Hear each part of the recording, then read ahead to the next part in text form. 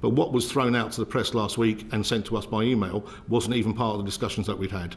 And where it had been part of discussions, many of them had been red lines. So again, echoing what Mr Lynch said, people deliberately scuppered any chance of a deal by putting out things that had already been declined. Thank you, Chair. Chris. Thank you, Chairman. Uh, good morning, gentlemen.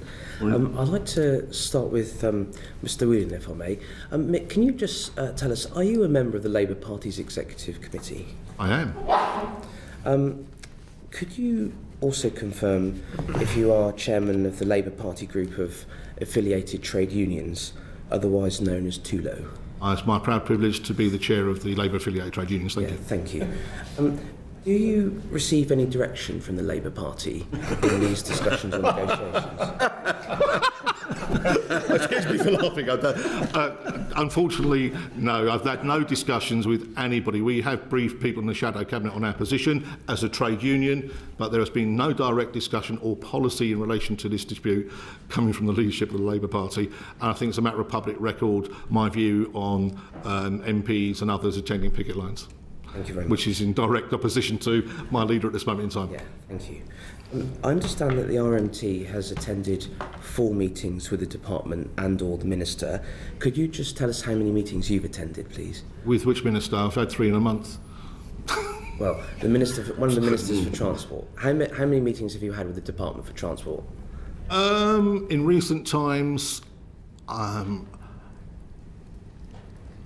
never met Mr. Shapps in person. Dealt with him. I'm sorry, I'm the t- trying to work it out for you. Sorry, bear, bear, with, bear, bear, bear, bear, with me. the I've, I've uh, never met Mr. Shapps in person. Um, had one meet and greet with Anne Marie Trevelyan. Unfortunately, wasn't there very long. Um, met Mr. Harper for the first time once before Christmas, and I've met Mr. Merriman, the rail minister, twice. Once with Mr. Harper before Christmas, and once to the meeting I alluded to earlier this Monday.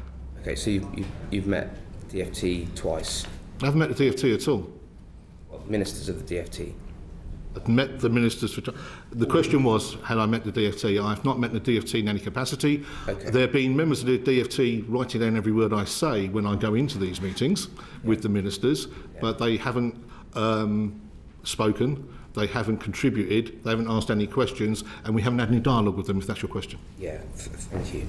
Um, could you just tell us what's the best offer that you've received so far from the RDG in respect of a TOC? The only offer we received in four years was the one that was leaked to the press last Friday.